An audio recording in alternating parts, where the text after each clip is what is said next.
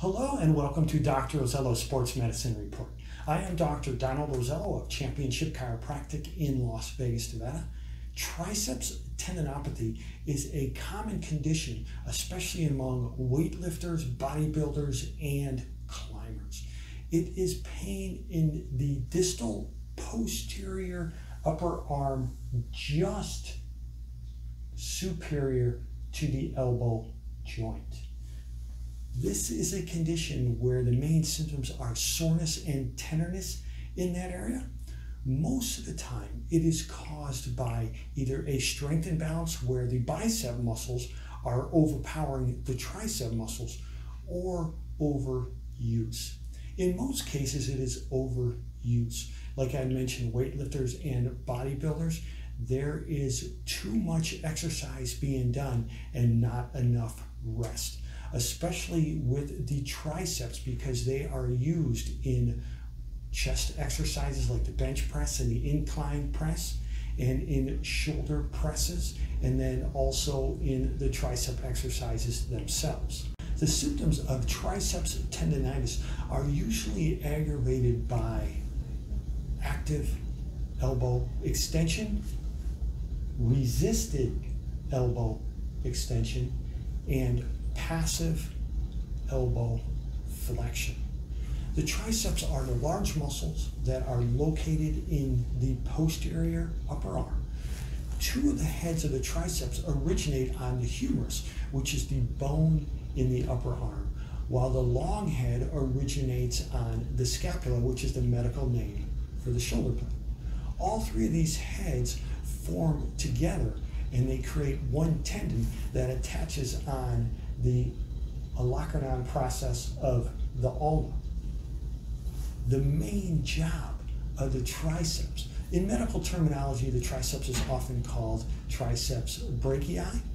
The main job of the triceps brachii is elbow extension. The long head, because it crosses two joints, it crosses the elbow joint and the shoulder joint. It assists in shoulder adduction and shoulder extension. The triceps brachii muscle is innervated by the radial nerve from vertebral levels C6, C7, and C8. The main symptoms of triceps tendinopathy are tightness and soreness in the posterior aspect of the upper arm, just superior to the elbow joint.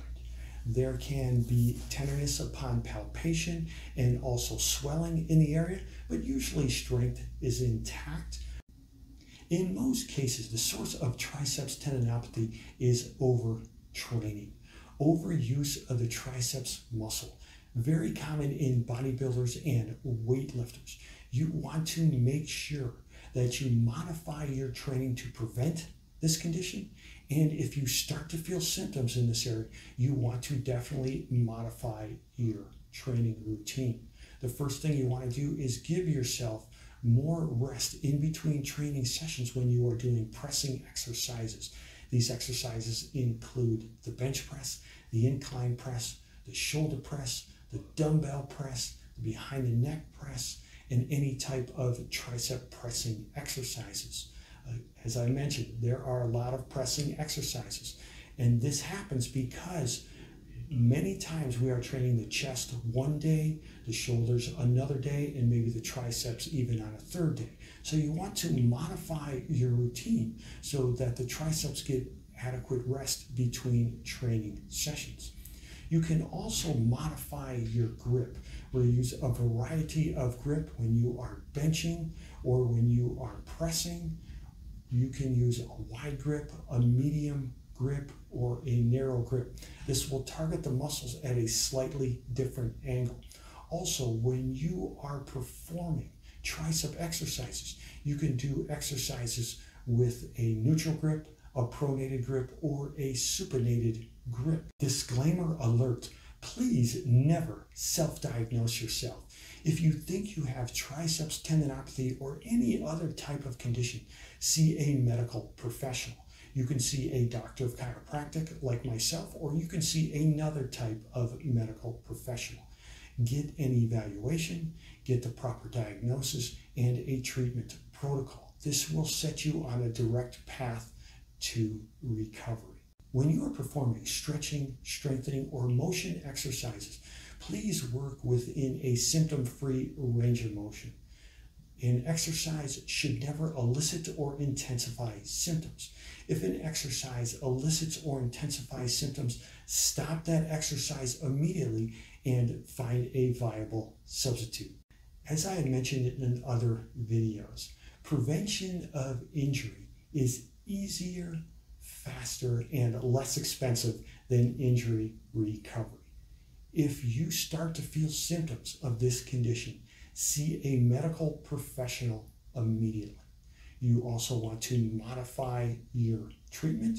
You can do some self massage in that area. Always work very light.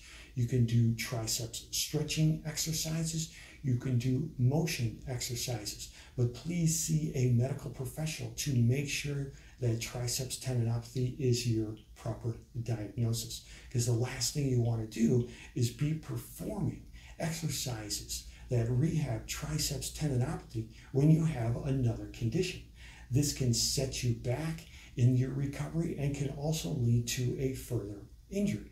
As a doctor of chiropractic, triceps tendinopathy is a condition I have seen in my office numerous times. When someone comes in complaining of symptoms in the area of the triceps, I'm going to do a consultation and an examination of the entire chain. Remember, the triceps are innervated by the radial nerve, which gets its nerve signals from C6, C7, and C8. That means that those nerves branch off the spinal cord in the lower part of the cervical spine. The cervical spine is the medical name for the neck. So I would check the cervical spine, the upper thoracic spine. I would check to see how the scapula is moving. The scapula is the name of the shoulder blade. In medical terminology, I would check the shoulder. I would check the triceps, the elbow, and the entire arm all the way down. If I determine that the patient has triceps tendinopathy, I would perform treatment on that same exact chain. I would look at especially the lower part of the cervical spine and the upper part of the thoracic spine. I would look at how the shoulder blade is moving to make sure it is stabilized. Look at the shoulder and at the tricep muscle and at the elbow joint itself. Also look at the wrist and the hand. We want to make sure the entire chain is healthy. I would perform a chiropractic adjustment on whichever one of the joints needed. This will help to restore proper physiology. It will reestablish proper motion to the joints and it will help to take off any nerve impingements that may be occurring. This is definitely important because an injury to the lower part of the cervical spine can affect the triceps. So we want to make sure that the triceps are getting their proper nerve flow. So a chiropractic adjustment in the lower part of the cervical spine and upper part of the thoracic spine will help accomplish that. I already mentioned some of the self treatment that you could do, but first of all, you want to modify your routine. I know I said this several times before, but give yourself adequate rest between training sessions. You can add stretching exercises to the shoulder, to the chest, and to the elbow joint, specifically the triceps.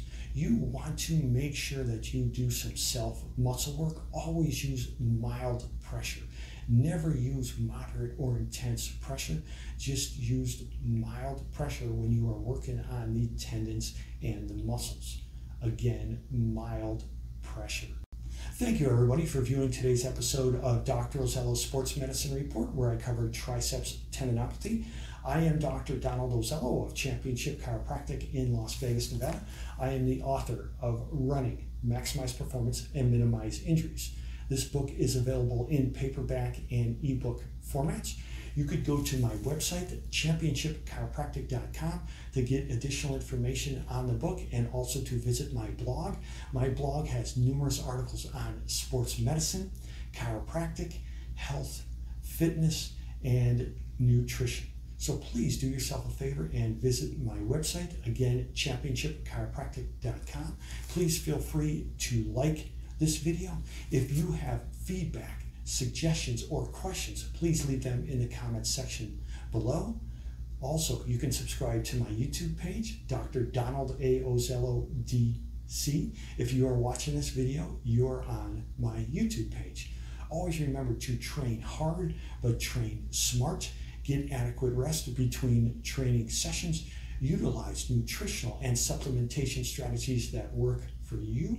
Stay injury free and accomplish your goals.